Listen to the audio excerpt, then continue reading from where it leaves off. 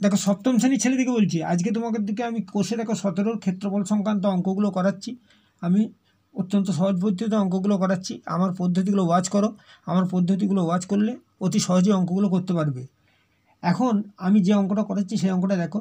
একটি আয়তক্ষেত্রকার অভিনয় মঞ্চের দৈর্ঘ্য প্রস্থের দ্বিগুণ। গোটা মঞ্চটিকে ত্রিপল দিয়ে ঘিরতে ছ হাজার আটচল্লিশ টাকা খরচ হয়। ছ হাজার আটচল্লিশ টাকা খরচ হয়। প্রতি বর্গমিটারে যদি একুশ টাকা খরচ হয়, তাহলে দৈর্ঘ্য প্রস্থ নির্ণয় করো। এখন দেখো, একুশ টাকা খরচ হয় এক বর্গমিটারে। একুশ টাকা খরচ হয় এক বর্গমিটারে। এক টাকা খরচ হয় কত? ওয়ান বাই একুশ বর্গমিটারে।